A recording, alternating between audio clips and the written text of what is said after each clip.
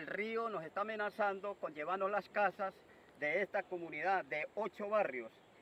Y este es nuestro punto de partida hoy en el barrio Colombia, donde vamos a hacer una inspección en todos los barrios río arriba, para pedirle al gobierno nacional, al gobierno estatal y al gobierno municipal de que nos ayuden con unas máquinas que necesitamos para la canalización de este río. las máquinas que nosotros necesitamos en este sector de Chururú son máquinas bulldozers, aquellas máquinas que se llaman de empuje, que tienen la pala para poder canalizar el río.